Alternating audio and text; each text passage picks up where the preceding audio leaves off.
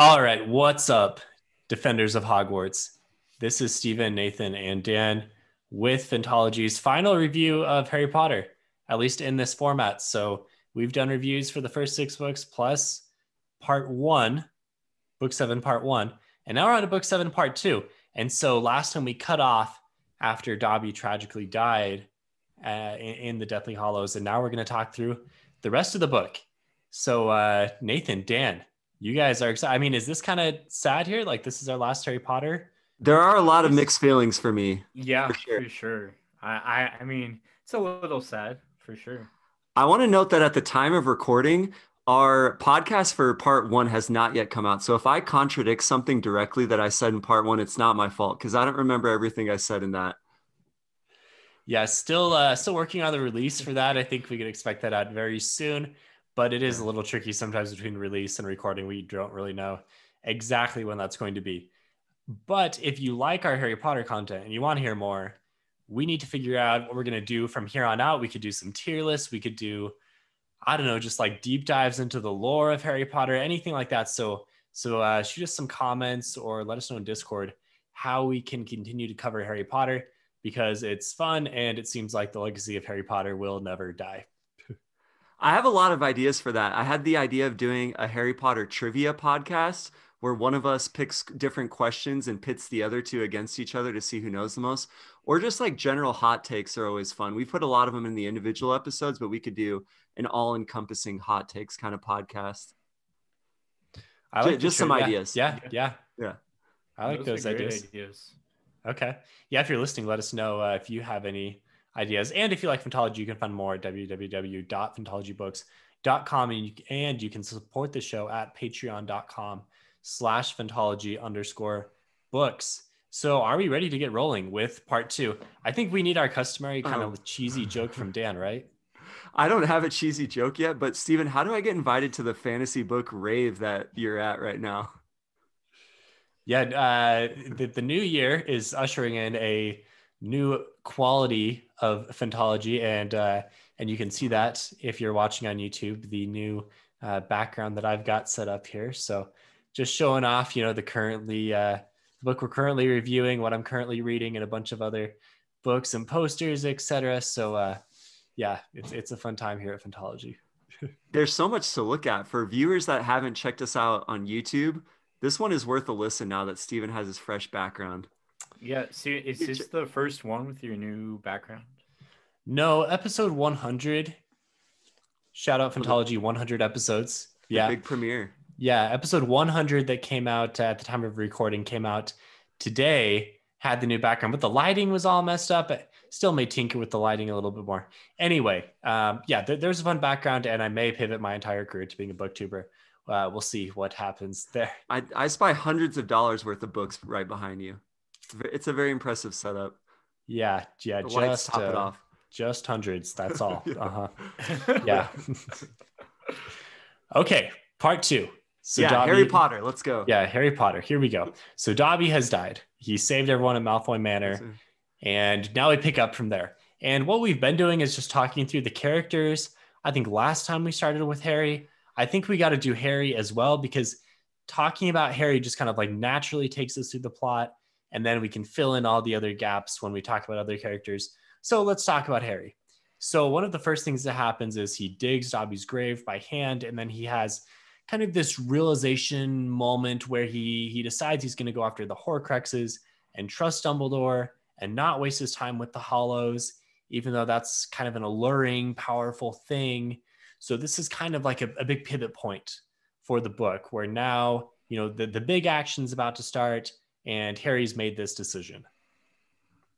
Yeah, and I I really like this part because it just he just goes right in. He talks with Griphook um, about the sword, and then Mister Ollivander about the wands, and kind of that kind of alludes to, and Harry gets more of an understanding about like the wands trust and how that all works, and then they just go right at it at Gringotts. Um, yeah, how do we feel about the wand, the wand lore aspect that's kind of thrust onto us in the second part? I've heard a lot of critiques about how it should have been more introduced gradually. What did you guys think about that? the whole thing of like if you take over someone else's wand, then there's the, the allegiance is to you now and that was how the elder wand was passed on. That that whole thing is what you're talking about? I feel like yeah that's what i'm talking about. I feel like the only real introduction we had to this before was the whole idea of the wand chooses the wizard. But it makes it feel like the wand is so much more sentient than that because you get the moment where harry's wand acts on its own accord and attacks voldemort and then you get this whole stuff about winning other people's wands. I do wish that we would have heard about it at least in the latter half of the series like maybe in books four five six just a little bit more. I guess it just never happened before where someone was actually stealing a wand and then using it. I mean we obviously had expelliarmus was a big thing since the dueling club back in book two and you think maybe that yeah. could have been mentioned, like, oh, by the way, when you do this, you're now winning the allegiance over if you keep the wand. Uh, yeah, something like that. Yeah. But it, it, seems like maybe something that J.K. Rowling hadn't really figured out until this book. Dueling Club would have been a now. perfect place. And because, yeah, you have all these situations. What if a student can make excuses why they botched an exam or something, why they weren't able to transfigure something or do a charm?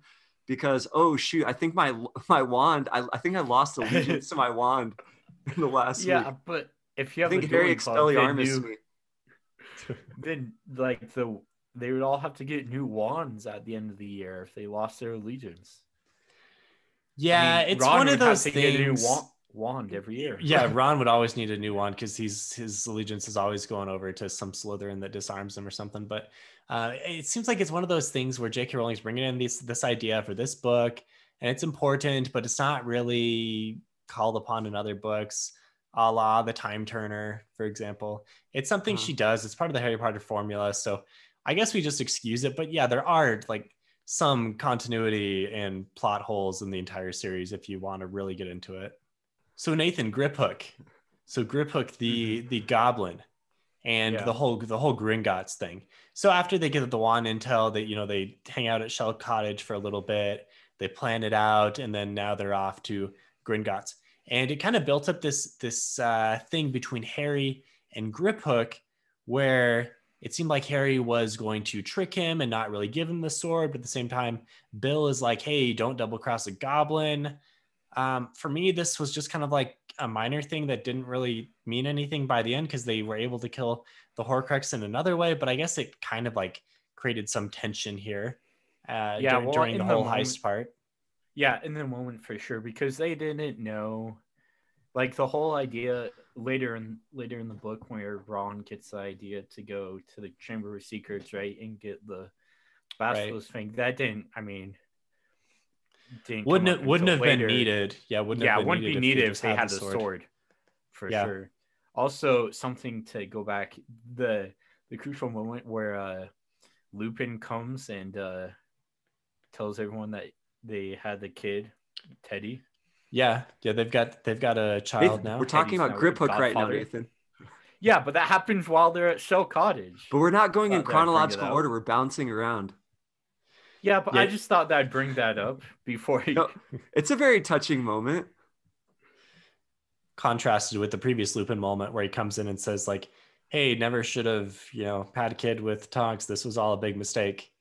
So Lupin's redeemed himself a little bit, I guess.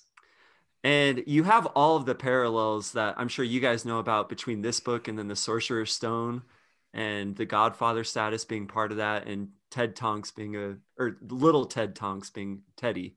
Mm-hmm. A big yeah. part of that parallel. Teddy Lupin.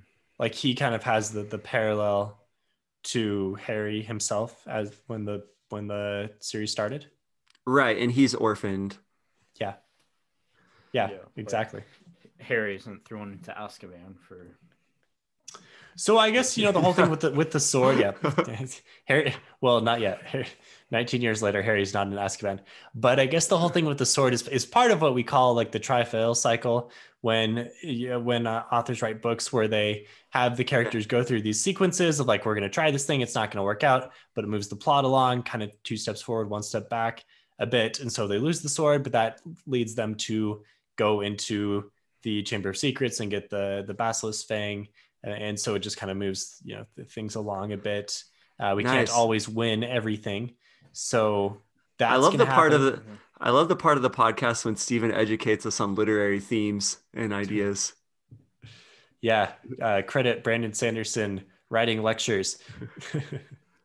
Also, So the- um, yeah. I, I just want to know what your guys' thoughts on Harry and I think Ron might have the them using the Imperius curse on one of the Yeah. goblins. Yeah, okay. So I have some thoughts about their use of unforgivable curses in general. You've had Yeah. that thought before when Harry cast the Cruciatus on Bellatrix in his Yeah, rage. Back back in book five, yeah. Yeah. So- So now that they're older, I mean, they gotta So- understand more. But now it's okay. Like they're called the unforgivable curses. They were introduced as if you use these things, you will go to Azkaban for life, right? That was how it was introduced Yeah. in the fourth book. I think Yeah. the Imperius Curse has by far the biggest variance because you can use the Imperius Curse and just do pranks, kind of, uh, or you can use it to commit very, very serious, uh, egregious acts. But the Cruciatus, Cruciatus Curse and Avada Kedavra, I think, are a tier ahead of the Imperius Curse. Yeah, so Hermione busts out the Imperius Curse. I mean, look, I mean, it, it was kind of necessary for their plan a little bit, but it just seems like they're crossing these lines. Like when when a hero crosses these lines of good and evil, that's fine. You know, sometimes that's that's part of the struggle that they go through. But typically there's some punishment or there's something that happens as a result. And they never have any backlash from using the unforgivable curses they are forgiven i guess it, it doesn't make sense Yeah, well, we need it's a name only change. those three people that know. well not really because when uh when harry pops out to defend mcgonagall from Amycus The- Carrow Yeah, right he, he just he uses crucio right away in front of everyone that's the one where it's, it's least necessary. yeah, I don't, maybe I don't that's know the time that to use stupefy stupefy still in the arsenal Expelliarmus. expelliarmus yeah crucio i mean what what is this He was just avenging all of his Dumbledore's army peeps that had gotten done telling him how they were suffering at the hands of the Carrows the whole year. So he was coming out red hot when he saw this guy, and he had had previous interactions with him. I'm not. I mean, I'm just trying to justify it a little bit, but I agree that other spells should have and could have been used. Yeah, Harry Yeah. is supposed to represent, you know, Harry and the Gryffindors are supposed to kind of represent like this restraint from using the evil Slytherin magic, right? Using using the dark magic. And it's like if Luke Skywalker was all of a sudden blasting off Sith powers, and then he's like, oh, actually, I'm I'm still gonna be a Jedi. Like I'm, I'm not really gonna go the dark side. I'm just gonna use their spells every now and then. That that wouldn't make sense.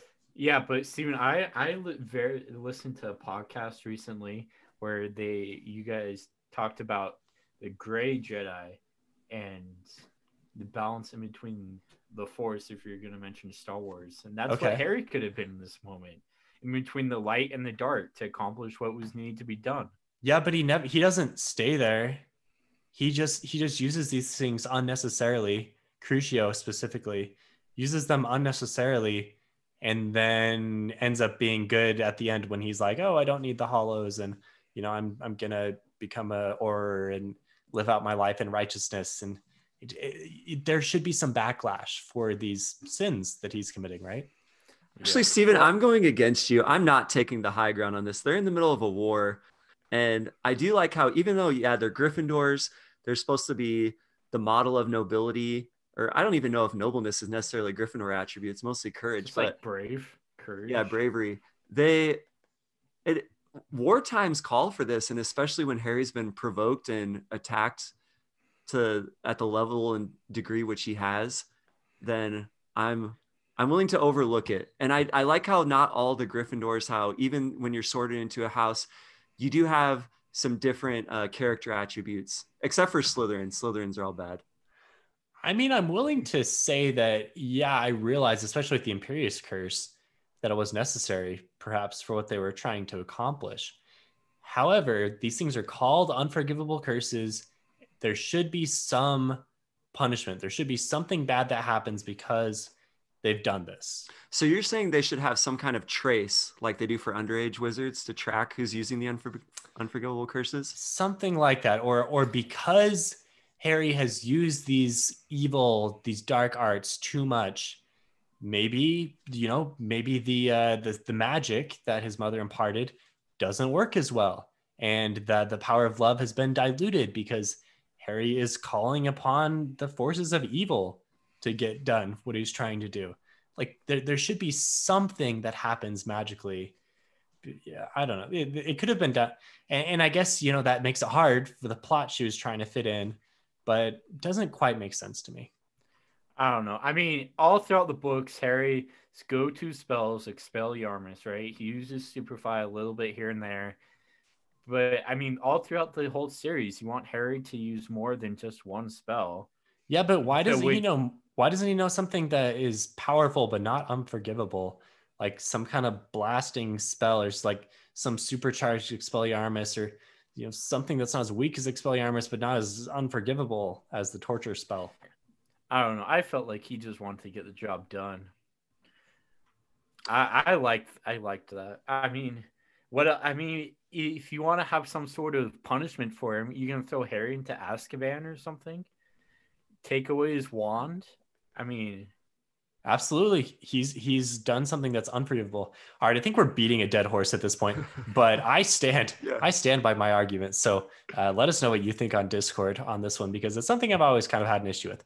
Anyway, the whole Gringotts part was the heist here cool. Yeah, it was way cool. Big yeah, fan of the sure. heist.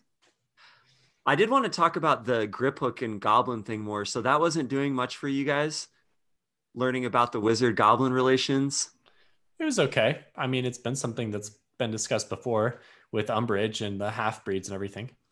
I was wondering, is it uh, in full full disclosure? I'm not super familiar with Lord of the Rings besides the movies. Um, I haven't read them in a really long time. But how similar are the goblin relations to those in Lord of the Rings? Because I know, like, is that borrowed at all? Is that like are goblins always the people that make weapons and things and feel slighted by the humans? Is that always what the dynamic is? Uh, I would say it's more dwarves. Uh, yeah, typically, dwarves, dwarves are, are, kind of your forgers of, of weapons. Yeah, goblins. yeah, goblins not as much. Like in Lord of the Rings, they're you know the ugly. That's totally what, that's totally what I'm thinking. Mud. I'm just yeah. thinking of Gimli right now. okay. Gim, Gimli not a goblin, even though it would be a nice alliteration. No, yeah, he's a dwarf. All right, thanks for correcting me, guys. Yeah, the, the goblins here are more kind of your gray character race here where they're like work with the wizards, but they're willing, you know, they've got their own set of laws and uh, the goblins Lord of the Rings are just evil. And that's something that I liked because we're fighting this war of good versus evil, the Death Eaters versus everyone else. But even if you know what side of the war you're fighting on, it doesn't necessarily mean that you're 100% good or that you're even 100% aligned with uh, the people that you're fighting alongside. Because I like that dynamic of Griphook is he's basically fighting against Voldemort because he thinks it'll be best for, I guess, the Goblin race in general. And but he still keeps his best interests. Um, that's he acts in accordance with that. Mm-hmm. Yeah, well, he just wants the sword because the goblins made the sword. So right. He thinks it belongs to the goblins. Right. It's always fun when you have characters with different uh, motivations and, and conflicts. It, you know, brings together people who are like, oh, I can see it from their angle, but also from my hero's angle. So it's, you know, it makes sense that Griphook would want the sword and, and you can kind of cheer for him a little bit to get it back. I don't know. Like he seems like a decent guy. Yeah, I don't remember being devastated when they lost the sword, but rather I was just so relieved that they made it out of that that c- duplicating mm-hmm. cup murder trap. That thing yeah, sounds that was, so scary.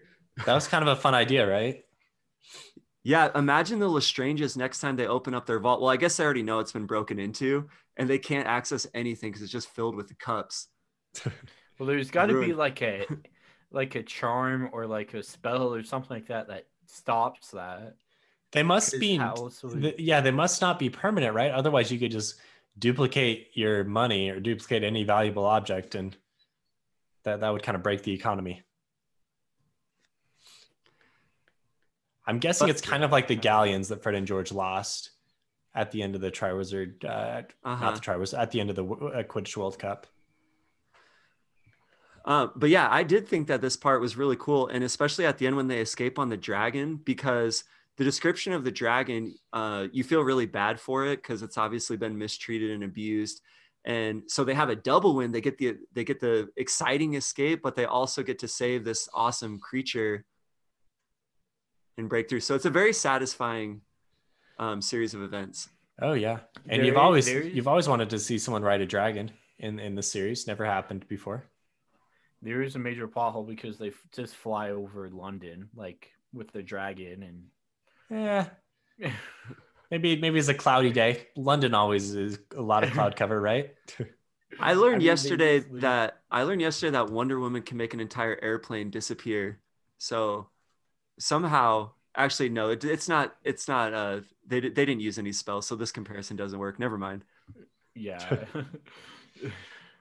yeah i don't the, the dragon's fun i guess yeah maybe someone saw it but at the same time there's a lot of magical happenings happening right now so i the dragon is maybe like the yeah. least of anyone's worries and something i noticed and it was especially noticeable in the second half of the deathly Hallows, is J.K. Rowling's really good about giving you this surge of action, and it's immediately followed by this recovery where we take a step back and it's kind of low key for a few pages or yeah. like half of a chapter. And it's it establishes a really nice rhythm because we always get a chance to catch our breath when something happens. Like right after the dragon took the trio and took them to safety, then they have the lake scene, which is really chill. And even later in the book, like when Harry dies and he faces Voldemort, then he gets that we get to catch our breath when he talks to Dumbledore.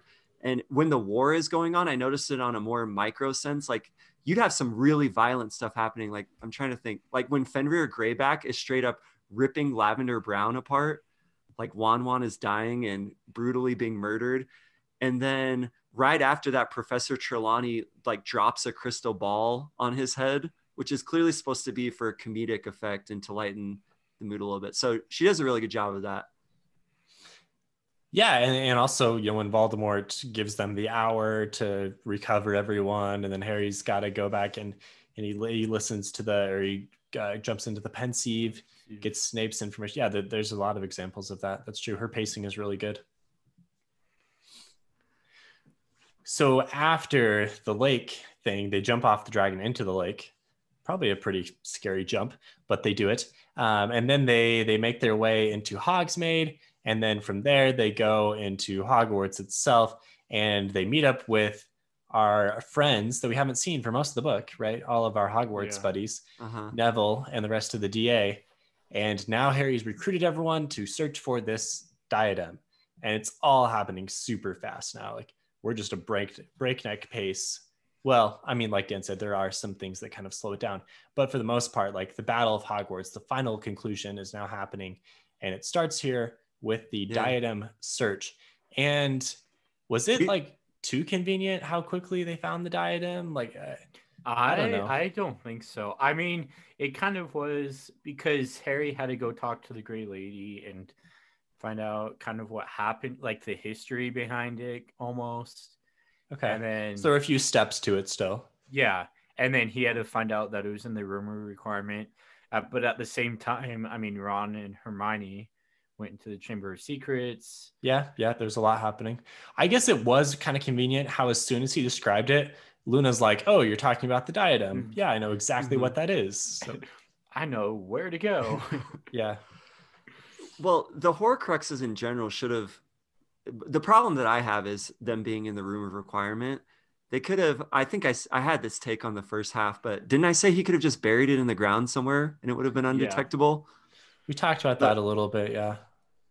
So that's the biggest problem that I have, but uh, they obviously need to find it really quick. It does seem like the whole first half of Deathly Hallows, they're finding one Horcrux and then it takes them a while to figure out how to destroy it and then it's like rapid fire. All the rest of them happen.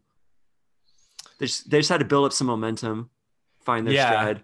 Yeah, difficulty for the locket was like 10 out of 10 and these other ones are just falling out yeah no problem well because they're in hogwarts and that's where voldemort can't get to right yeah was it a i mean was it a major uh, a major oversight or a major mistake on voldemort's part to continually allow Harry to see what was going on and realize that Voldemort, like his positioning was given away and his knowledge of the Horcruxes. Like, how does Voldemort allow this to happen? He's just unaware.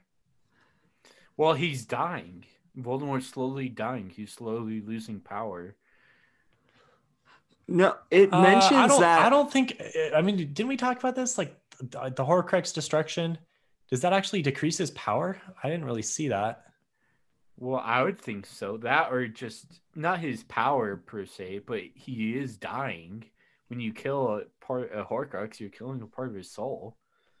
He doesn't seem to be weakened on the battlefield. Yeah.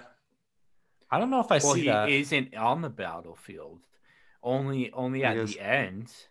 But like before Harry sacrificed himself, you don't see him until yeah, you but he's Snape. not like his eyes aren't bloodshot. He's not like coming apart at the seams like our villain in Wonder Woman. Oh, good. Yeah, Second Wonder Woman reference. Oh, Yeah. if you haven't seen Wonder Woman yet, uh, well, let's not do spoilers. But uh, the villain there is you know, a little unhinged. Um, but so, so Voldemort doesn't have that happening. He seems like he's he's upset that the Horcruxes are dying, but he's not actively lessened. Yeah, I think well, that he does send the Car- Carrows to go to um the common room of Hufflepuff. And Of so he Ravenclaw. kno- Raven, yeah, Ravenclaw. Yeah, well, he knows that they're being destroyed and he doesn't want it to happen, but the fact that they're being destroyed is not actively making him weaker. I would think so.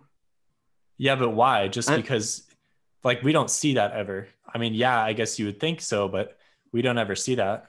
Well, no, but you you gotta think that it's it's doing something to him. I get where the theory is coming from, but I don't think the book gives any indication of that. Like none of the Death Eaters are revering Voldemort, any or there nobody's concerned for Voldemort, and maybe he's just doing a really good job of masking his power drain. But he he easily dispatches Snape. He, I And mean, I mean, he's, think he's back still the most commanding presence. Think back to like the fifth book when he fights Dumbledore. He's already had one of his Horcruxes destroyed. You know, the um the, the diary, was destroyed back in the second book. He's able to fight Dumbledore just as strongly as, you know, it, it seems like Voldemort is back and he's super powerful and we're terrified of him. I don't think losing the Horcruxes has lessened him to any degree until finally when they all are killed off and he's now vulnerable to being killed. Yeah, it Yeah. was convenient that Harry bought a lot of extra time because Voldemort was cruising around the countryside checking on the other Horcruxes. Like the whole them being able to see into each other's minds was that Harry took power and control over that relationship. Like it was a two-way street, then it was all of a sudden just Harry Uh-huh. with the insight. And the there is a small explanation in the book that that's because Voldemort doesn't understand love, and it goes back to the love thing. But that's that's what you would call plot armor, right, Stephen? Am I Yeah. using that right? A little bit. Yeah, you're just like, a little oh bit? yeah. Um, Harry, Harry can now do this thing, and it's because the plot needs it to happen. Like we need Harry to know where the Horcruxes are. So uh, let's make it this connection that he's got with Voldemort. Yeah. Yeah, he goes from totally bombing all of his. Oh gosh, what's the what are the classes he takes with Snape? The protecting your mind. Occlumency. Occlumency. Occlumency. Yeah, he goes from being the worst Occlumens ever to mastering the most powerful Dark Wizard in that. Yeah. like really quickly. little strange, especially when Hermione's like, Harry, don't do it, don't do it. And Do it. and then by the end, he's like, uh, yeah, uh, what, what's Voldemort pretty- saying? What's he Yeah. saying now?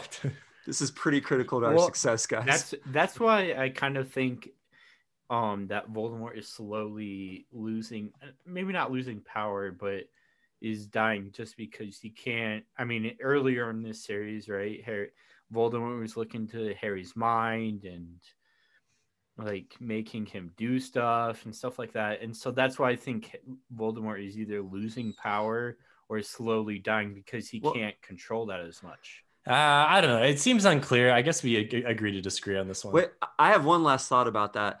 If that was the case, Nathan, I like the idea because I'm not sold on the idea of love being the sole reason why that relationship flips. But if Voldemort realized that his soul, that one seventh of his soul was destroyed by the diary, I think that when he gained more power, the first thing he would have done was gone and protected all the other Horcruxes so that he didn't lose he any more. Well, he didn't think that anyone was going after the Horcruxes until book six. But yeah, the he- diary died, but he knew the diary. I felt like the diary was like a sacrifice that he decided to use to get Harry early when he was only twelve years old. I don't know. I don't think the soul the soul fragments are connected to their actual wizarding power. Like his soul fracturing has hurt him in other more basic human ways. I don't I don't think it's necessarily his magical power, but uh, I think we're we're once again beating a dead horse on this one. So they uh, they they find the diadem finally in the room of requirement, and now we have our final showdown with Malfoy, Crabbe, and Goyle. And this is something that I liked quite a bit because this has always kind of been the conflict, the smaller conflict between Harry and Malfoy and his goons, Crabbe and Goyle. And now, once again, it happens, but this time the stakes are much higher. And it's fun that it's still happening. But Yeah. And Yeah. it seems like Crabbe is really feeling himself in the the year of the Slytherin takeover of Hogwarts and the dark arts being taught. Like he's learned a lot of stuff and really come out of his shell.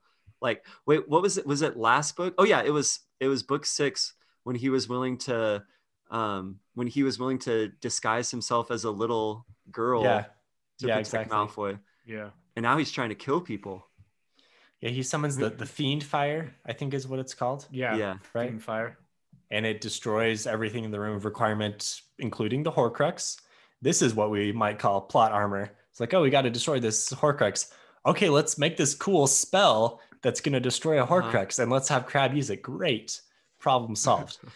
so, yeah, I don't know about that one, but uh, it does Yeah, I thought happen. it, I thought it was a funny scene because they all, I mean, they right, they get on brooms and they're flying around in the room of requirement, right, and then they go back and save Malfoy, and the funny line of Ron is like, "If we die, I'm gonna kill you," yeah, which Yeah, yeah, kinda- kind of Harry later in the book.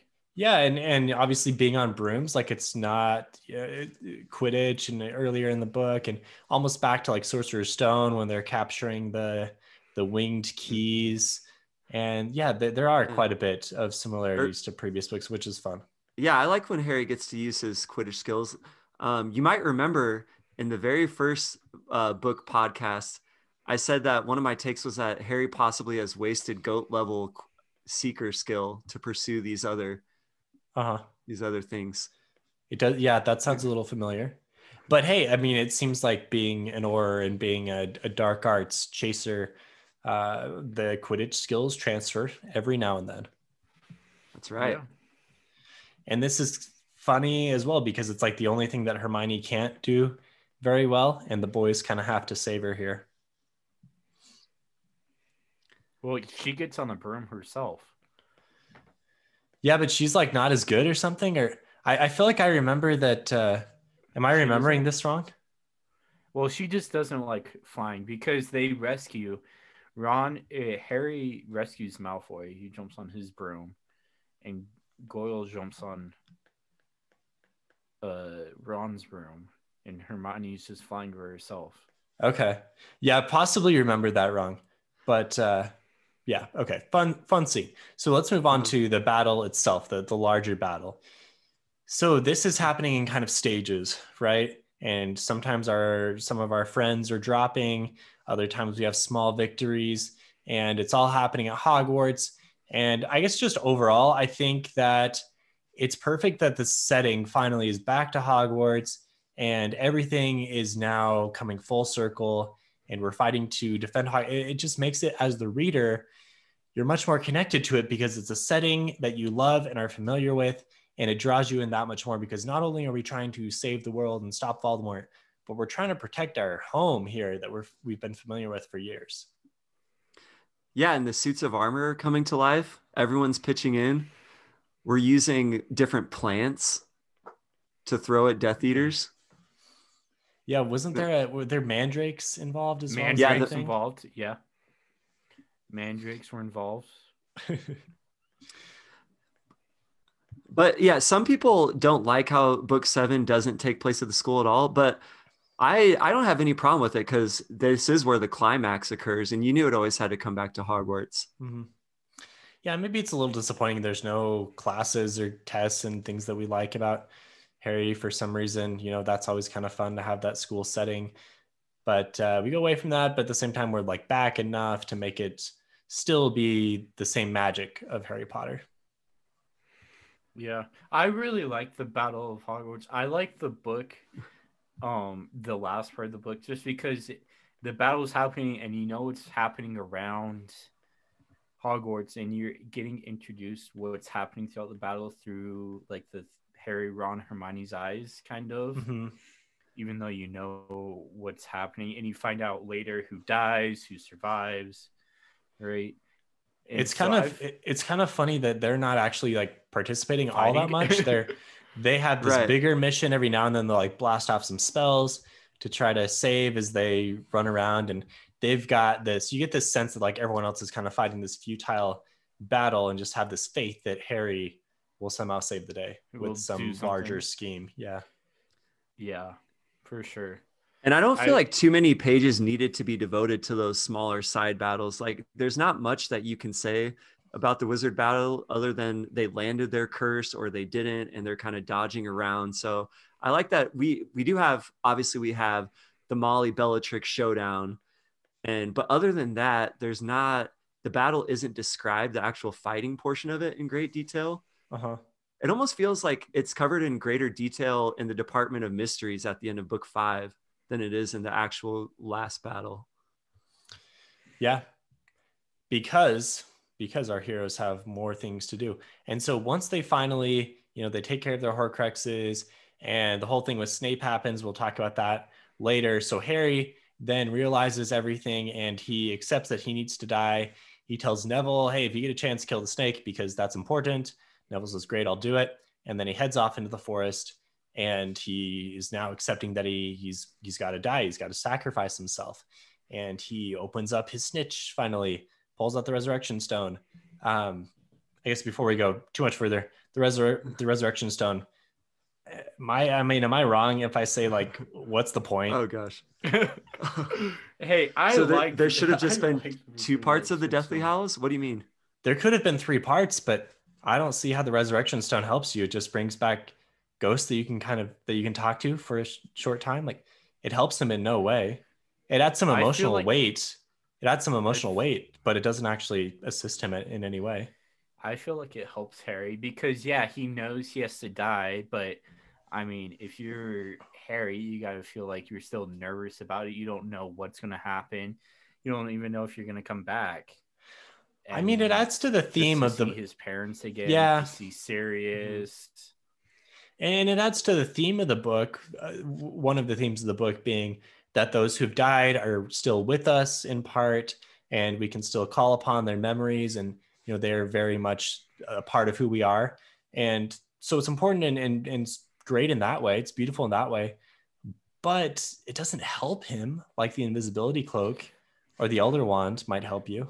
Um, No, so but- I had always, you guys need to correct me on this, and it could be embarrassing that I'm asking this, but, but I've never known for sure is the rex- resurrection stone necessary for Harry being able to come back to life? I don't know. No, the whole Yeah. like he was all. he was the master of the deathly hallows therefore he was able to that's why he came back to life Right. so from the explanation that dumbledore gave i thought the reason why he survived the killing curse was because when voldemort came back to life he used harry's blood therefore voldemort couldn't kill harry directly because lily's lily's Love. blessing lily's magic lived Love. in voldemort lived in kind of both of them therefore it didn't voldemort's curse didn't work Okay. It's not, and listeners, forgive me specifically for not knowing this for sure. It's probably a very common knowledge in the in the community, but uh, it doesn't really matter to me either way. I just wanted to see if there was a definitive answer. Yeah. Well, he I mean- kills when Voldemort uses Vada Kedavra on Harry. He kills his own soul. Right. He kills he kills the Harry. ugly little baby. That's Yeah. at King's Cross. Yeah. that was um, when I was trying to think of a lead-in joke for the podcast. I wanted to base it around the little baby dying flesh ball, the little Mhm. helpless thing in the corner of the room, but I couldn't think of a joke about it. I, I Too- steered clear. Too dark, maybe. Yeah, yeah. Yeah. Okay, so Harry submits to death here. Now he doesn't fight back at all. He's killed. He goes off to King's Cross. So this is probably one of the more controversial parts of the book. Some people are like, "This, this whole thing was stupid. It's too, it's too meta, too metaphysical. It doesn't make sense to me." And I think it makes sense. I, th- I think it's you know kind of a fun way to make this whole plot work. What do you guys think? I don't think it, it King's Cross. I don't think it should have been Dumbledore. Okay. Just, Yeah, hit us I- up. I think why- it should have been like Sirius? no. I think it should have been his mom. But That- isn't the whole like beginning part of the book this conflict that Harry's trying to decide if Dumbledore really loves him or not, or if he ever trusted him? And then when he gets Snape's memory, he's like, "Wait, was Dumbledore just raising me to be killed eventually?" And so I like that it was Dumbledore. I I feel like it brings a should it brings a great resolution to this whole thing. I don't know. I I think it should have been Lily or both of his parents because right he's talked to his parents once in Harry Potter 4 and then Well, he brings them into the Resurrection Stone at least. They're, the they're there a little bit. Yeah, he Dumbledore is way more a part of his life than his parents are. Yeah, if he would have, if it would have popped with his parents, he would have been awkward because he doesn't even know them. He would have Yeah. had to yeah, but break who down. else who else is going to give you the last like motivation be like, "Yeah, you can do this. You can go and defeat Voldemort." Other than I mean, it's got to be your parents.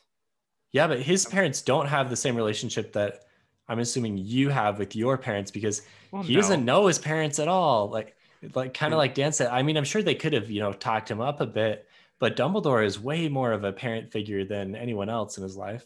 Plus, Dumbledore actually knows what's going on and knows what he- information he needs to give to Harry. Dumbledore is the one. Yeah, Dumbledore is the only one Uh, really I who don't knows. know. I mean, ha- Dumbledore just raised Harry to be killed at the end. But no, he didn't. That's that's kind of the point. He- Even He though that was a part, well, that I mean, by just nature of circumstance, that happened. But that wasn't why. Like Dumbledore really did have a parental love for him and was raising him to ultimately win. He knew that he would have to die because that's that part of Voldemort was in him. But at the same time, he also knew that you know the powers of love and hope and all, all this goodness could prevail. Yeah, I don't know. I just felt like it would have been better for Harry to see his parents and be able to actually talk with them. I feel like you and I are disagreeing a lot in this episode. This is great. Also, also just just to point out, Dumbledore. I felt like Dumbledore could have done a whole lot more. He had all three Deathly Hallows at one point. Why didn't Dumbledore just? That well, no, that something question was, that question was answered because of Dumbledore's backstory. When him and Grindelwald, one of them killed his sister, right? And ever since then, be and that was a part of their search for the Deathly Hallows. Ever since then, the guy's been scarred and doesn't want anything to do with it, and so that's why he turned down any kind of positions with the ministry. He always wanted to be uh, headmaster of Hogwarts and and have something that he he wouldn't be too tempted by the power because he knew he knew his potential. He knew he'd be the greatest wizard ever. He already pretty much was, but also he was. It's kind of like when when Gandalf um, turns down the the the ring, right? Because he knows how tempted he would be by that. Yeah, power. that's Sa- that's same type of comparison. That's I immediately thought of that. I don't know. I mean, he goes because we find out. I mean, we do find out in the series that Dumbledore is the one that had the invisibility cloak, right? The Yeah. day, night that Harry's parents died. So Yeah. he had that. He had the Elder Wand, and so why not either just have all three and just lock them up or something like that, so no one could get them. I just the whole thing with like the Elder Wand and how that eventually got to Harry uh, is just a little bit and how he didn't want to get to in Voldemort's hands is a little bit like there's a huge plot hole. If he wanted Snape to be the master of the Elder Wands, he knew that Snape was eventually going to die from Voldemort, right? Because Voldemort thought that Snape. yeah, but he didn't. I don't think it's a plot hole. He he recognized that that plan failed. He was trying to be buried with the Elder Wand. Like he was hoping that Voldemort No, wouldn't but- find that out. But going back to like the wand lore, right? That the Well, I know that Snape was the master now, But Harry was hoping No, Voldemort Harry- never figured that out. But That's what Snape Dumbledore was hoping wasn't the for. master. It was Malfoy. Well, okay, sure. Yeah, th- there was that whole thing in there. So yeah, I, I said that wrong. But I mean, my point stands. Dumbledore was just hoping that that was never figured out, and the wand died with him. But you- Stephen is a I huge mean, Dumbledore fan. No, I- the the whole I thing don't. I don't. I don't understand the. I don't understand the plot hole here. I think the, because so the Deathly think Hallows was explained What- really well with Dumbledore's backstory no, and everything. no, everything. not that. Just the whole Voldemort, right? Trying to be like the evil Voldemort, right? Trying and he's trying to Yeah, we know out the Elder Wand. Okay. And yeah. So, Dumbledore Voldemort doesn't even know what the. Deathly Hallows are, though. Voldemort doesn't understand the Deathly Hallows. No, he well, he kind of does. He knows who the Elder Wand is. Just the Elder Wand. yeah. So Dumbledore's. You got to think that Dumbledore knew about that or something like that from Snape. Well, if you're Dumbledore, what are you gonna do? Knowing that you have to die, what's your like? That's a pretty good plan. Well, don't let Snape kill you and take the Elder Wand, where he knew that Voldemort could have access to it. Well, he gets buried with the Elder Wand. It's in his grave. He doesn't think Voldemort's gonna get to it. Well, anyone I see go it- that grave. I see what both of you are saying. I have another question to interject though. Why does he leave the Tales of Beedle and Bard with Hermione after? I never I never fully understood that. Doesn't he? What? He- He explains it a little bit. I think it's Oh, because does he he? wants to have Hermione kind of uh, reel in Harry a little bit. Like he wants to make sure Hermione understands. Is it because he wants to slow their pace in their Horcrux chase or something? No. It- you got to I'm- think yeah. so that they can know what what the Deathly Hallows are. I mean, if you ask that question, Dan, the follow up question would be like, why are the Deathly Hallows in the book at all? You know, like Yeah. what what what impact do they really have to the plot at large? Not that much. Like it could be called Harry Potter and the Horcruxes.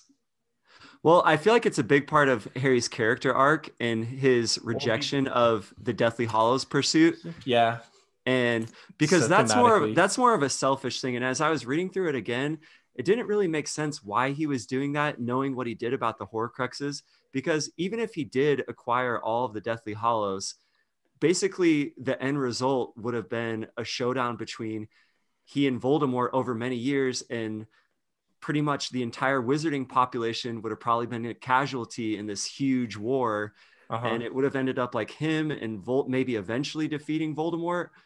But clearly, the the more noble route to what was best for the wizarding world was to go for the Horcruxes.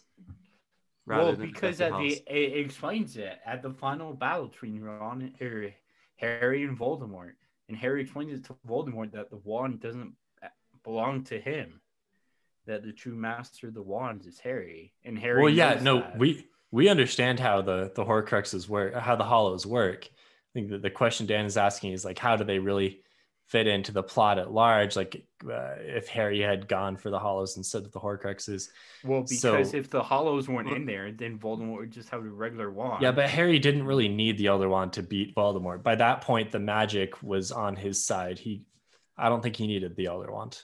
Do you think Well, he you- needed some wand trickery where Voldemort was accidentally using a wand that belonged to him? I I do think Like- so. Because yeah, that's a good point. They wouldn't have necessarily had to have been the Elder Wand. Because then Harry and Voldemort would have just fought, and you wouldn't have a clear winner. They'd just go back and forth. Okay, But the I'm gonna reason go. why Voldemort died is because the wand didn't belong to Voldemort, and it backfired on him and killed him. Uh, I don't, it didn't backfire. It was because, Because Harry didn't kill Voldemort. The wand, the wand that did Well, belong to him backfired on Voldemort and it didn't him. backfire. Their curses met in the middle. Their spells met in the middle, and Harry's won. Uh, and I assume that was because you know Harry had sacrificed himself, and basically all of the love magic was on his side. I'm for sure no, gonna go back the on wand Discord didn't later. To Harry, the wand didn't belong to Voldemort. We may need a we may need So a Reddit we may need a work Reddit deep him. dive on the actual. It could have been a Yeah. combination of both. I mean, look, part of it was definitely the Lily love magic that I've referenced. Part of it may be the you know the wand lore that Nathan's talking about with the Elder Wand. Maybe it was both things working out for him. Maybe it was just one or the other. I don't really know to be honest. I I don't know if that's definitively explained. It just kind of all happens. I'm gonna go back and check on Discord because Uh, I'm pretty sure we could be spreading a lot of fake news right now, and I'm not sure Because what is the, what. The love portion comes into when Voldemort tries to put a spell on all the Hogwarts people, and and he puts this silencing charm on, charm on them, and then he lights the Sorting Hat on fire. Uh He huh. binds Neville, and Neville breaks free. Sure. But I mean, also the the fact the fact that he had the Elder Wand had nothing to do with Harry surviving, being killed. Well, no, not that part. Yeah. but just So- that so whole. the- part okay, so there's parts for both. with love. Yeah. Okay, so yeah, we'll we'll have to maybe do some. Uh, we have to do a correction on some of these things. Nathan may be right, but uh, what did we think of? Oh, okay, so Yeah. back to King's Cross. One one more King's Cross thing, really quick. Okay. Did it really happen, or was it just in his head? Because that's kind of the final line before he leaves, right? Yeah, there's the famous line. I have it written down. Of course, it is happening in your head, but why does that mean it's not real? Uh huh. So, what's the interpretation? Did he Does really it- see Dumbledore there? Do I have to care? I don't know. It- Dumbledore's always waxing poetic. He's always has to be deeply philosophical every other sentence. So I guess my interpretation was uh, I don't think it did really happen. Like, I don't think he was really seeing a ghost of Dumbledore, but it was because of the imprint that Dumbledore had on his life. Like, he was able to basically communicate with an avatar of Dumbledore or with, you know, what what uh, knowledge and, and relationship he had with him in this kind of in between place. I, it's pretty meta, right? So, really, any explanation would work but that seems to be one of the themes of the book. You know, the people that die are still with us, and in this case, Dumbledore was with him enough to explain some of this stuff. sounds good to me. Yeah, All I right. don't really care. That works. Cross. Nathan's much more into the wand magic. Okay, so Harry dramatically reveals himself to be still alive, and then he he kind of taunts Voldemort a bit, puts him in his place, and then gets the Expelliarmus for the win. So this was a huge fist pump moment, right? Like this is this is ten out of ten stuff when he pops out of that invisibility cloak and wins, right? Well, he pops out of the invincibility cloak. Well, even then, he he because Hagrid's carrying him right, and he just the whole commotion with Neville killing Nagini and Nagini. Harry. Yeah, Nagini. However, I mean, you can pronounce it several different ways. Definitely And then- Nagini. Nagini. Nagini. Yeah, just say the Nagini pronunciation before. and I mean, everyone's going, everyone's fighting, right? You got, I mean, Ginny and Molly Yeah. fighting Bellatrix. I mean, you have uh, Neville just goes kamikaze. He just puts himself Yeah. out there as a sacrifice. Yeah, Um, everyone's Nice. everyone's fighting. Everyone's fighting, and then Harry Harry Harry pops out, right? Yeah, well, you have McGonagall and uh, fighting Voldemort. Very, very, I mean, serious moment. I It's I like, Mag- I think it's one McGonagall, reasons- Kingsley, and Slughorn are all triple dueling, Yeah. Right?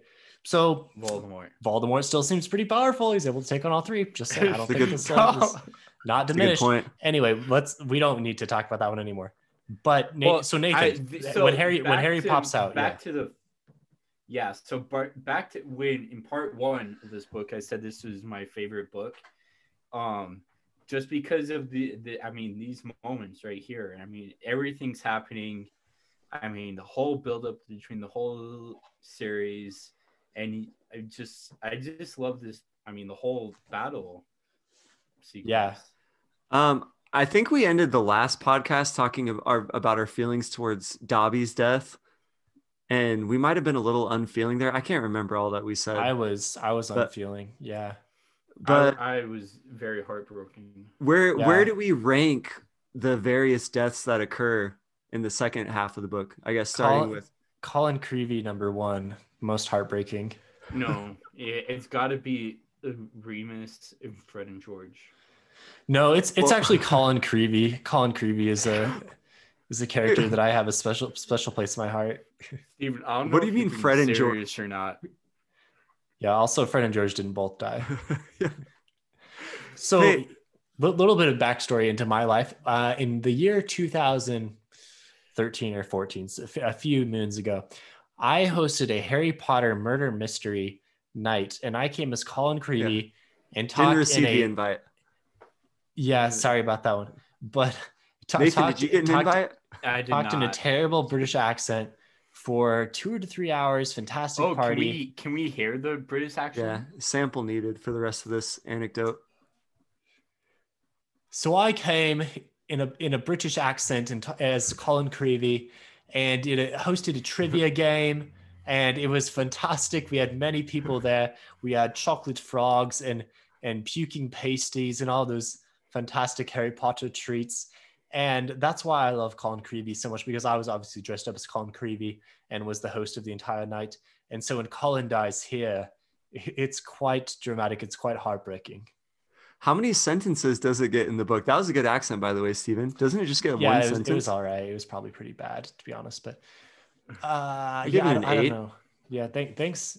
Yeah, out of 10, hopefully Yeah, not out of 100. Better. Um, I found myself. We could do a whole podcast about this, but the your attitude towards characters as they're described in the book versus their actor portrayals in the movies, and for Fred and George, there's a pretty big gap between the books and the movies for me. And the movies are awesome, and in the books they're awesome too. They have a lot of funny moments. Um, side note: I think Harry is really underrated with humor throughout the books is something that I gathered in my most recent reread. He has a lot more funny moments than Fred and George, like little quips Mm, here and there and comebacks. But Fred and George are actually kind of cruel at times, and they clearly have some insecurities about how they fit into their trad- the traditional wizarding world. They kind of forge their own path, and like I said, they're a little bit insecure, but also they're kind of cruel at different times to different characters, specifically Ron. Like whenever Ron does anything, his first reaction is always that Fred and George are going to get on him about it. And not to say that they deserve to die, like obviously they didn't deserve to die, but just there wasn't enough Fred and George moments in the books for me to care that much Mm. when when he died versus in the movie. In the movie I cared a lot more is all I'm trying to say. So you mostly just were heartbroken because like you love the Weasley family, but Fred and George themselves are like, yeah, you know, had it coming a little bit It was maybe. just I, I don't dislike them, but I'm just all that's a long way of saying I like them more in the movies than in the books.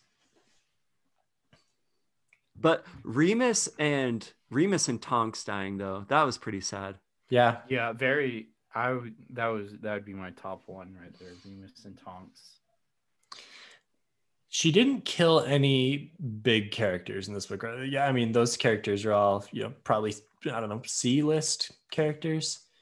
If, if Mhm. we had if we had to rank them, you know there was no Dumbledore or Sirius death in this one.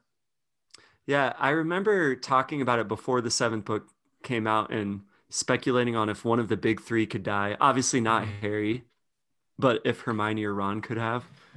What about Hagrid? Okay. Hagrid seems like he could have been a good.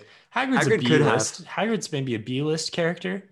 Is he And, you know, yeah, he doesn't really do anything else. He- Is he, he could've- too uh is he too beloved though? Because I don't know, like Hagrid's almost he's almost like a child though.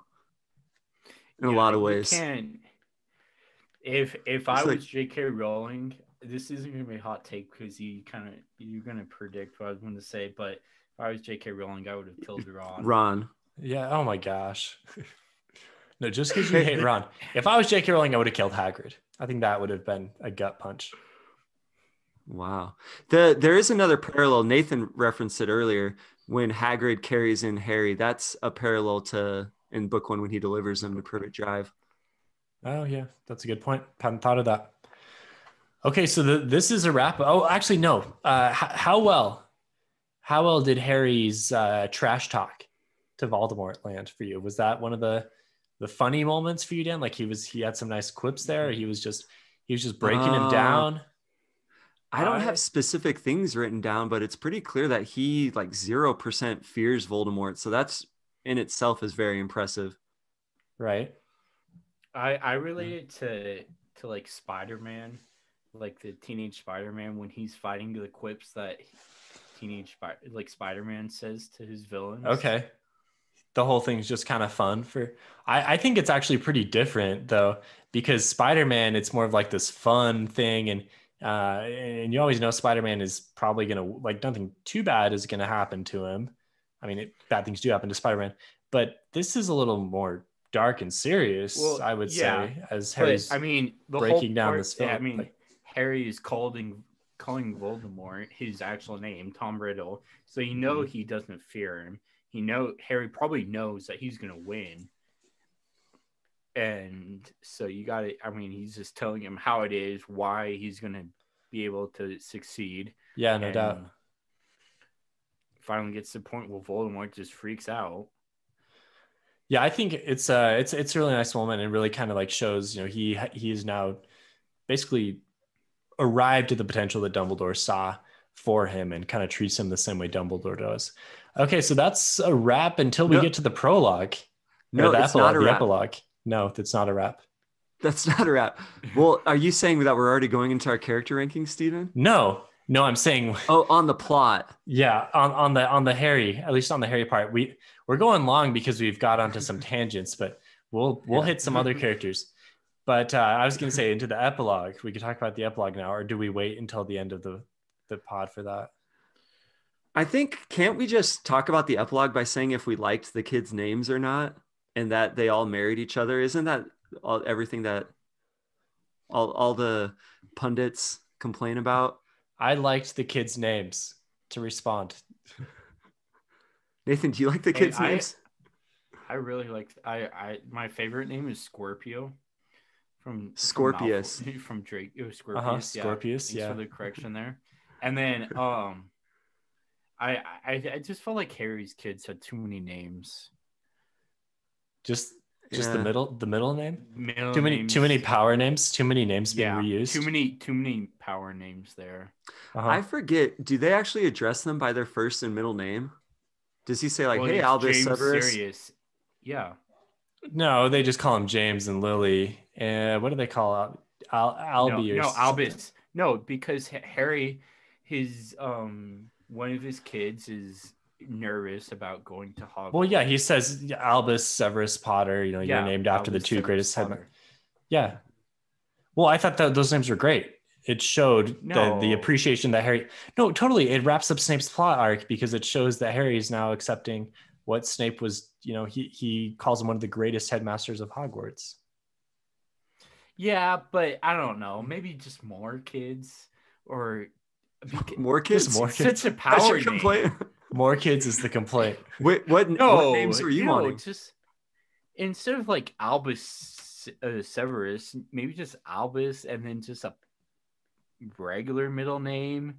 and Nah, Albus- Nah, I, two- I I like the too a names. Power name. the name the names are great. I think or one go thing. to- James James Severus or James Albus. Nah, Potter. no, you got you got to tie the headmasters together for that for that uh, great line there. The two greatest headmasters of Hogwarts. I think it's just nice to see Harry finally has the family that he's wanted the whole time, right? Like his scar hasn't hurt for 19 years. All is well. End of the book. Great. I think that Harry should have ended up with Cho. Thoughts on this opinion? No, bad opinion. Probably the worst opinion Or- we've had. Cho Cho never does anything wrong for any of the books. I stand by that. And you get this petty little moment whenever they're assigning roles for seeking out the diadem, and everyone's hyped up in um, in the room of requirement. And Cho volunteers to escort Harry to Ravenclaw House, and Ginny gets all jealous. It's like it's not Ginny's best look, but Um, no, Dan, I, that's worse than my take that Harry and Hermione should be together. Yeah, the Cho take the Cho take is bad. Cho Ch- Ch- Cho's book five performance. Yeah, there's no redemption there. Okay, let's talk about uh, let's talk about Ron and Hermione. We're we're way over on time, so we do kind of have to cut these other character conversations short. yeah. So, uh, what was your top Ron thoughts. moment? Top Ron moment. Um, Yeah. the end of the book, the that last page. Um, there when there's nothing on the page. I don't have Okay. any top Ron. Dan. Ron did Ron did some good things here. So that I know, no, rough. actually, okay. Besides that, I I did like Ron. It was Ron's idea to go to the Chamber of Secrets. yeah, and he and he uses the- somehow he's able to use Parseltongue. Also, plot armor. Like, oh, we need this thing to open. Well, oh, Ron can do it now. well, it Uh, explains okay. it. Harry talks in his sleep. Well, that that's an explanation, but there's no real reason to think that that could actually let you learn Parseltongue. Yeah, I, I don't know, but that was a nice moment that he actually thought of, and then as well when they're using the Marauders map and Harry disappears, there's Ron was like, "Well, he, he's in the room with requirement." Sure. Yeah, yeah Ron. Yeah. Those are my top Ron moments. Ron also able to overcome his fear of the giant spiders. Uh huh. Yeah. Yeah. I have more Ron moments. I have he uh so something I that I think is underrated about Ron is he's not scared to apparate after his splinching experience. I would think that you would have some PTSD with that. Oh yeah. Especially the type of spell where you have to be totally focused and confident in order to execute it perfectly. Or so props him for that. And then there's a moment when Harry is a really underwhelming hero um, when he first arrives at Hogwarts. He's probably just really tired, honestly. Like I'll give him a little bit of a, sure. of a break. And he has a similar kind of failed moment when they're in the head and he's trying to recruit people to Dumbledore's army. But everyone's there, ready to hear a rousing speech. Obviously, Harry can't tell them what they want to hear, but he can at least like not try to be a total rain cloud on their enthusiasm. But Ron wow. is the one that kind of prods him and reminds him um, kind of gives him the cue to to give a speech kind of thing. So that was a strong moment from Ron. Nice. Okay. So more moments than Nathan's end of the book. I hate Ron. Uh, how about how about Hermione? What were some of Hermione's top moments? Hermione, I don't have hardly anything in this. She has a whole thing where she's kind of battling being a mudblood and Bellatrix attacks her supposedly because she's a mudblood. Well, I guess that's in the first part of the book. Uh-huh. But other than that, she she falls in love with Ron officially and they have their kiss, but it's just because he says that he wants to go and free the house elves. That's all yeah. that he had to do to win her affection. Yeah, Hermione's still on the SPEW train for some reason. What about uh, her infiltration of Gringotts and disguised as Bellatrix? That was pretty good, especially when you know Travers, the other Death Eater, comes in. That wasn't part of the plan. She's able to play it right. off cool.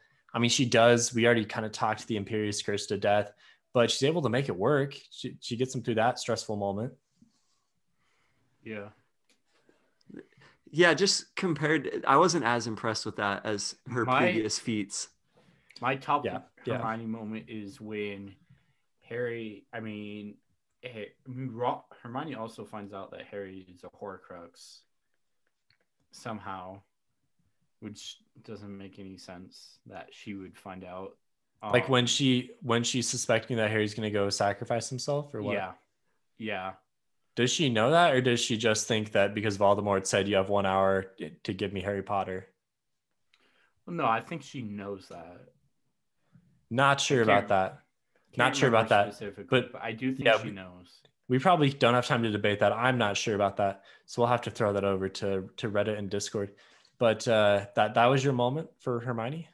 Yeah, just because she's, I mean, just the smartness that she's able to f- figure that out without the knowledge that Harry now knows from the Pensieve. Okay. Still questioning if she is actually able to figure it out, but we'll move on. Let's talk about Snape because uh, Snape is obviously very controversial. So, should we just start with the thing? Like, is it creepy that he loved Lily and that was why everything, like, that was his whole life? Essentially, is that creepy yes, or is very, that very creepy? Nathan's on the very. I don't think it was. I just think he was an unattractive dude that wasn't charismatic. And this was the one girl that gave him attention. They were best friends and it's really hard to get over something like that and try to settle for I mean, something else because Lily's like a 10 years later. He has nothing else going for him, right? Like there's probably no one else, like unless you got some random like Draco is able to who does Draco end up with? Like Millicent Bulstrode or something. What what's that character? Oh yeah, isn't it Penelope Clearwater? No. No, it's not. Wait, hold on. I need to look this up. I'm, I'm forgetting. Yeah, I'll Drake was able to find love. You think Siri, you think Snape might be able to find love somewhere, uh, never does, but also like there's a lot going on with this dude. Like he's obviously pretty brilliant, but also comes from uh, you know some some uh, a little bit of a bad background and is unable to ever kind of cast off the allure and the history of Slytherin and the dark arts. He's a pretty tragic character. It's Astoria Greengrass, by the way. And Stephen, I agree with you. That's who Draco marries. Just who is this? Some random character? It says it's a younger sister of a Slytherin, but okay. I can't remember anyone with the last name Greengrass. I just can't. Okay. I I could never get to the point where I could forgive Snape for how cruel he was to everyone. Um, not only Harry, but like especially Neville or characters like that. There's no reason for that. Yeah. I do think the whole stalker thing after reading the books, I think that's more of something that's derived from fan fiction because it does say that he was hiding in the bushes that one time when he was a kid, but it's not that creepy. Um, like like I said, he just had a connection with Lily that he didn't have with anyone else, and they were good friends. So um, it's not like he stalked her when they were married or anything. It doesn't say anything. Yeah, like he that. never tries to like duel James for her honor or anything like that. Yeah, yeah. I guess that's true. I Wait, just, I don't know. Nathan, I'm not done with my Snape thoughts. Oh, I have more yeah, Snape thought.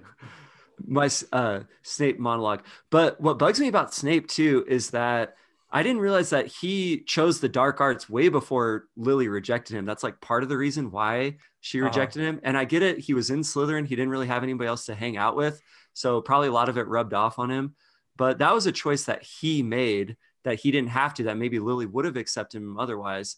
And I don't ever feel like he really grows to appreciate Harry or really evolves as a character. I think he just still sees him as James's son the whole time. Because at the end, when he says always, like that's the only reason why he's doing this is for Lily. Uh-huh. And I don't know, he just retroactively kind of applies all of James's weaknesses to Harry. And that just seems really weird to me. And it's really sad. And he's just trapped in this sad state. So it just, it, it's compounding because he's like, I love Lily. I've got to save her son. That's the thing I'm doing. But the the person I'm doing this, like the reason I'm basically still living, like my motivation, is actually the person that I hate the most because it's you know James's son and he's way too much like James, and I hate this kid's guts, and now I hate myself because this is what my whole life is. Uh, yeah, it's a pretty pathetic and sad existence. yeah, Nathan, what were you gonna say? Oh, I mean, I just feel like part of it as well is that he, after he learns that Voldemort's gonna kill Lily and well, that he killed Lily and everything like that. He and he goes and Dumbledore is like, "Well, pledge your allegiance to me and and and we'll defeat the Dark Lord and everything like that." I just feel like Snape is just like kind of weak like he doesn't. He should have, have stayed a Death Eater. You agree no, with Bellatrix? No, no, nothing like that. Just like go off by himself or something. Like, why does he yeah. have to stay? Go on like, vacation. No, just like go live somewhere else. Like create he's a got, new life. I mean, that takes a yeah. lot, right? Like he's got some ties still to the. I. well, what I ties does he I, have? He Lily's could open up a dead. potion he could open up a sick potion shop with all, all of his concoctions. Like his yeah, he could have gone other paths, but uh, he he didn't. I mean that that's kind of the story, right? Also, on a side note, pretty believable. The uh, the actor that played Snape was the only one that knew that Snape was actually good. I think I've heard that before. Didn't he? He and he passed away this year or the year before. Yeah, not that long ago. Uh huh. Yeah. Okay. I think uh, I think we're ready to go into our top three and bottom three well, character well, rankings. Well, no, I have we're more, not going to talk about takes. Neville. Those can be discussed. Those can be discussed in your no. character rankings. I have I have something that I need to bring up that I was proud of myself for thinking of. But the whole the Ariana thing, so we didn't talk about that. And uh, I I was just wondering if you guys knew. It seems that the only solution being to lock her up basically for her entire life it doesn't seem believable to me like there had to be something else that could be done and i was just wondering if it all stemmed from this one situation with the cruel muggle boys that had given her this whatever complex she had couldn't they have just cast obliviate on her and gotten rid of that memory Boom. That's the best take you've ever heard right there. Could have solved a lot of issues. Well, Yeah, I've obliviate. heard that take. Can you just do Oh, dang obliviate to so any like any mental illness or or uh, mental issues are going to be solved by using obliviate on someone? Well, only in very severe cases like this. Like Hmm. if if you can't even take her out, like what kind of existence is that that no one is allowed to know that she's there and she's not ever allowed to leave the house? I think it's worth it in that case. I don't think obliviate itself. I mean, maybe there's some other, you know, maybe there's some uh, wizard psychiatrist specialists, you know, some Yeah, branch uh, of, of, of mental magic. doesn't there doesn't appear to be that. Mental That magic. much is clear. Yeah. I mean, we saw a powerful obliviate used on Lockhart, and the dude lost his mind entirely. So I think there is some danger there. All right, that's it. Nathan, what were you going to say about Neville? Or are you is he in your top or bottom 3? Yeah, I think you guys you guys have to condense the remainder of your takes into the top and bottom three. All right. Okay. That's what's going to happen. So this is our our last top and bottom three for Harry Potter, at least until we figure out a new way to do Harry Potter for future episodes. But we're going to talk about performances for characters in Deathly Hallows Part Two only, so nothing else. And uh, we're starting with our top three characters. So it sounds like Nathan's ready to go. Yeah, I'm ready to go. So number number three is uh is going to be uh oh man. Yeah, seems like you're ready to go. I know who my top two are. Okay. Yeah. N- Um, number three is gonna be uh I'm gonna say McGonagall. Uh just because she I mean she cast a spell to bring the like the guards, the the stone guards out. And Didn't I seem like she held the school together very well, though. well well I mean It was a hard position to everything's be in. coming at a Yeah. very hard position to be in. Sure. I mean, a very hard year to be in since she's under Snape. She can't really do anything. I mean, she has to protect the kids somewhat. Um, Yeah, we didn't. We I didn't. felt we didn't have you know enough insight into what was actually happening, yeah. maybe to to fully judge that. Okay, that's fair. McGonagall, put her down. Uh, okay, this may be controversy, but number two is going to be Harry. Okay. Yeah, I mean Um, Harry, Harry Potter, main character. Well, I, I just feel like Harry would like- be number one, but okay, number two, Harry. I mean, he defeats Voldemort. Sure. Um, number one is Neville. yeah, Neville. Yeah, saw that. Coming. Yeah. we didn't talk about Neville. We didn't talk about Neville at all. Yeah, breaks breaks the binding charm, takes the sword out of that flaming cat, and kills Nagini. Just full out. Go Just- for it. Yeah, just Neville, my man. Yeah, for sure. It's also Neville. So is is is the uh everyone loves Neville, right? Like this is not an opinion that uh, is being voiced for the first time. No. How much of that is I mean he's great in the book. Like it's nice to see this character who went from in book 1 receiving 10 house points for being pathetic and being the recipient of Hermione's curse on him or jinx for, to being the, the hero, right? A Yeah. hero of part in, in book 7, right? A very courageous moment. also he also did- leads the Dumbledore's army. yeah, yeah. He's been he's been doing good stuff for the year. Mm. How much of that was because of the events that I just talked about in the book, and how much of it was because of the actor's huge glow up between you know as as the movies went on, right? I think it's the book. The book the movies are based off the book. Well, yeah, I know, but the like the physical appearance of the actor, because Well, he's could have gone he's a- like- J.K. Rowling could have gone a different route with it for sure. well, I, well, I know, but I'm just saying people really kind of like him because he's really like he's hot by the end of the oh, movie series, right? Oh, like that? No, I feel like it's more of, I mean, just his character, how his character growth was. I mean, he could have, even if he didn't like grow up and how he what is now or was when the movies were.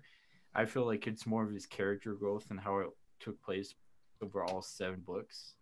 I do. Th- I think that it plays a part in it, Stephen, for sure. Like, for example, people love Neville. uh, Out of the secondary characters, he's one of the most mentioned. Like, think of him like compared to Luna. Is he necessarily Yeah. that much cooler than Luna? I guess he does have the moment with the snake and he does do more courageous things, but Luna's also really cool. But I, I think that his physical appearance has a lot to do with it. But it's cool how it worked out like that. Like you have the the character glow up with the appearance glow up, like Uh-huh. simultaneous. Uh-huh. Also, I mean Harry. I mean Neville. If it wasn't, if it weren't going to be Harry, it was going to be Neville to be the chosen one. I mean, sure. Yeah, there's that whole Neville's- angle. Neville's background isn't the best. I mean, out there. I mean, his parents are in the hospital, lives with his grandma. So I mean, it's not like he Yeah. has the best background. Yeah, there, there's a lot of parallels. There's a lot of parallels throughout the series. Okay, Dan, what is your top three? I'm finalizing my list right now, and man, some tough choices. I know for a fact that Ron is going to be on the top three. For I'm, I'm going to put Harry at number one. So Yeah. let's have Harry one, Sure. then Ron. Let's have Ron's either two or three. I'll decide whenever I I find the other character. We already talked about Ron for a while. Don't need to go into it further. Probably Neville's going to be my third, actually, just because I don't think it can be understated what he had to go through for the entire year, and he really mastered that principle of, uh, I guess you would call what's the word for it with like social justice, like silent, not silent rebellion, but like nonviolent protests, I guess you could call it. Okay. Like, he was he was exploring really creative routes to not necessarily be compliant with what was going on at the school without also completely endangering himself, his family, or friends. And I thought he towed that really well. Um, also, I the parallels between him and Harry. I think it's cool that J.K. Rowling let him as kind of the alternate chosen one. He got to be the one to get rid of the last Horcrux. Was was a nice touch. Yeah. Okay, my top three in no specific order are Harry, Dumbledore, and Snape. Which which Dumbledore? Oh, Albus Dumbledore. okay. Albus Dumbledore. Aberforth is cool, right? Eh, he's all right. So Harry, Harry, Albus Dumbledore, and Snape. And these are three very different characters. They play very different roles. They all do some huge things. They all have some shortcomings.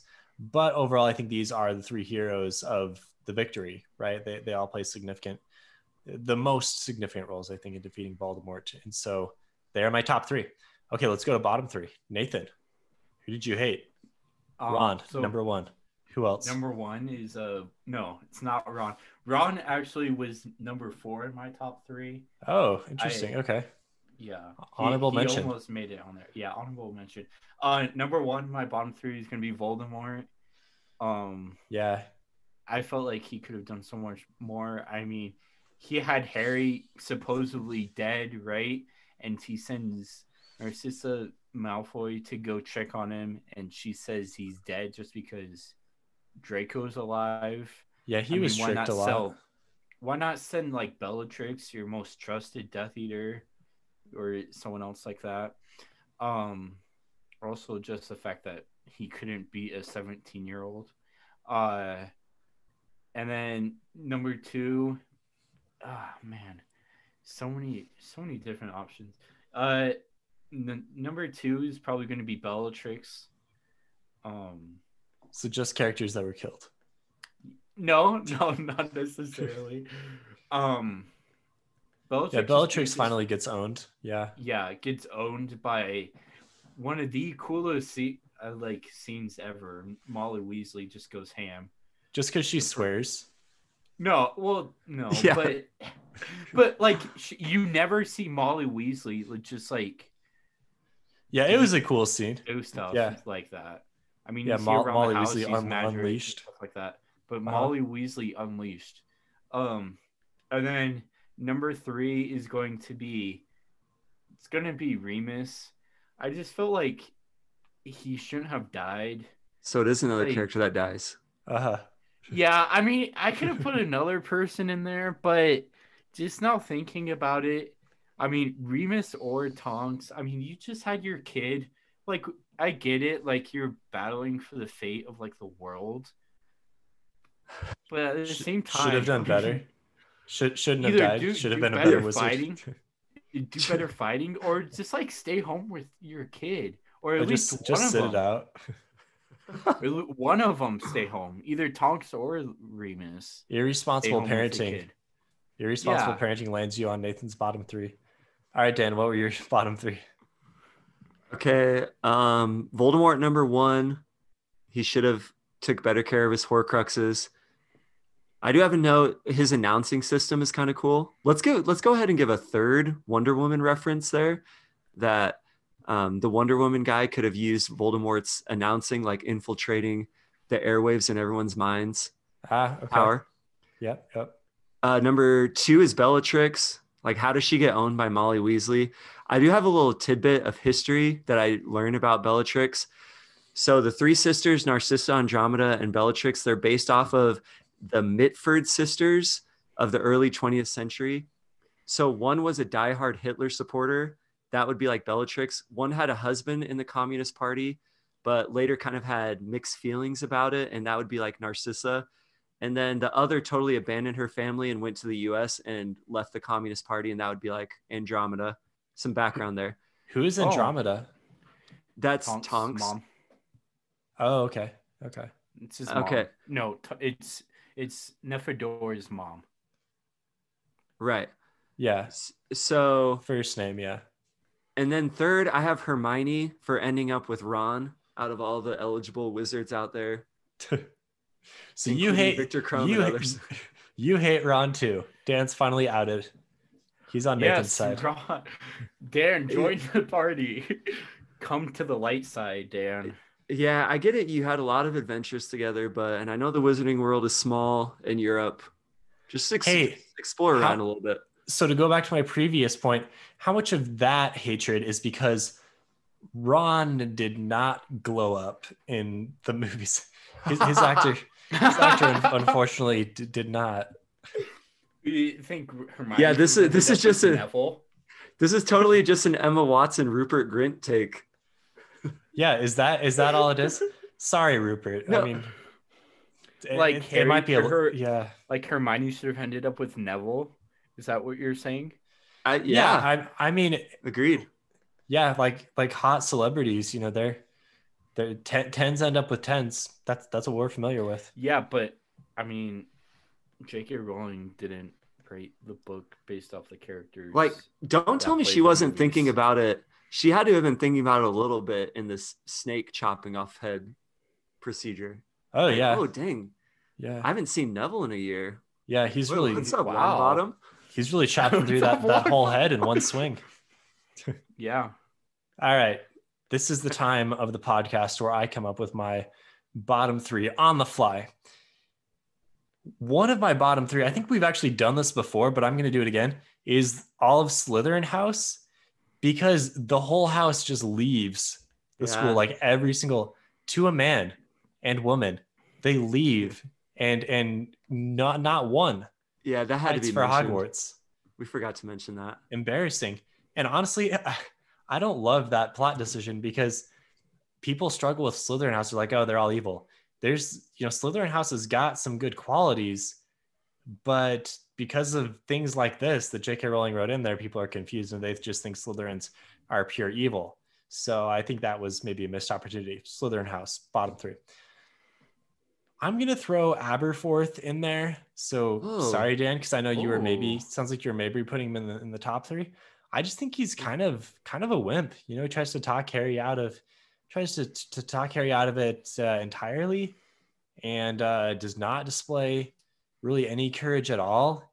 I mean, he is able to get the rescue. The rescue was was key, but uh, I'm I'm a little disappointed by by I mean, Aberforth. From the details we knew at that point, I think I think he's a rational thinker. I think the chances of them succeeding was very low. So I don't think it's the worst take to say to like that and it seems like he helped out Neville and Dumbledore's army a lot throughout the the school year. Yeah, I'm not into And- the, the rational thinking during moments like this. I'd, I'd rather have the more heroic characters who are able to go out there and get things done rather than the guys who are like, uh, we got to like negotiate and bargain. Like, that's boring. No, we, we got to go save the day. Not, not into that. fair enough. It's kind of like the, kind of like Kaladin's father, Lirin, in a. Oh, that does remind me of. Yeah, of- don't even. Yeah, Dan. How does that remind you? All right, and my number one bottom three. It's hard to say it's not Voldemort, right? So that that's who it's gonna be. The guy blows it and he dies. That, that I mean, that's the plot line of, of Voldemort. He makes a lot of mistakes. I think his biggest one was c- continuing to uh, not be aware of Harry looking into his mind and basically giving him the playbook. That that's a mistake, and that's probably why he lost. Um, real quick, I we haven't mentioned them at all, but coming in fourth on my list was the Malfoy family because Top I'm or, not in top or bottom. bottom. Sorry, bottom Yeah. four. Because yeah, I there I congratulations, you're loyal to your family. That's cute and stuff, but they still don't dis they don't appear to possess a lot of moral fiber. Um, not not impressed with them. Seem a little spineless. Yeah, I can see that. Yeah. Yeah, up until the Hey- end, where uh, you know Draco, Draco never really, you know, him and Harry have a little bit of a maybe a respect or acknowledgement of each other in the epilogue, but uh, never really has like a you know a, a redemption moment per se. Yeah, I th- I think the one or there's a couple mistakes J.K. Rowling makes, but I think the one of the mistakes is going 19 years into the future. I feel like she could have written a whole lot more books or just a lot more stories if she went like one or two years or maybe This like is five no, years. this into the is just a this is just a take where you you you want more Harry Potter. This Yeah. is, yeah. This I is mean- the take. at the time you would want more Harry Potter when you first read the books. I mean, even if like for 12, 13 year olds you want more Harry Potter. hey, there's fan fiction out there. Yeah, and the There's fan majority of the- fiction. Fan Yeah. fiction available. Sounds like you've read some. Well, I've seen some, yeah. Yeah. With Harry and Hermione. alternative alternative history for Nathan. All right. Any more uh, final takes here before we close Dave. out our coverage of the books? I'm just way bummed that that was our last bottom three, top three rundown. We'll have to do a Good tier list. We could do we could do a lot with tier lists. Tier lists are really fun right now. Fantology's done a few. So we could do characters, we could do locations, we could do I mean books, although there's only seven of them. We could do magical artifacts, spells. There, there's a lot we could do. I think tier list is going to be our next Harry Potter episode. Okay. Okay. Yeah, way excited. All right. And if you want to see, you listeners, that is, if you want to see more Harry Potter coverage, just let us know. You can join our Discord. Invites are going to be on uh, episode links on social media. And if you want to see more from Fantology, you can find that at www.fantologybooks.com. And then finally, you can support the show at patreon.com slash fantology underscore books. All right. All right, muggles. See you guys later. I just want you to know that if the Fantology podcast died, I devote the rest of my entire life, no matter how miserable it made me, to protecting its offspring. Thank you, Severus. Ah, that's that's all I could come up with. It wasn't bad. It wasn't bad. Okay. Although I don't like the insinuation that Fantology podcast would ever die. All right. See you guys later. Yeah. okay, Right. peace.